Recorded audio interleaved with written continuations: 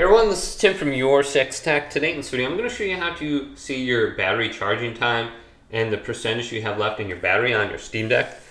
And it's easy to do. So it might not seem apparent, but you can actually just maneuver with the joystick up to here and press A on it. Otherwise, you can just tap it.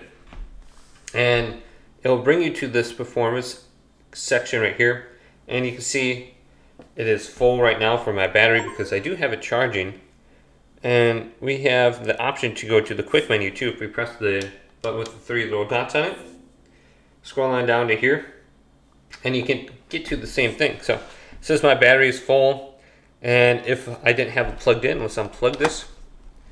It's going to switch on over to uh, calculating the battery life right there. And it's at 99%. So if you're using a phone charger or something like that, you want to switch over to the official Steam charger. Otherwise, you won't be able to really game and charge at the same time. It's just going to constantly draw more power from the charger than uh, what is uh, available. But hopefully this video did indeed help you out. Did leave it a big thumbs up. And subscribe my channel down below. More tech videos coming up next on Your Six Tech.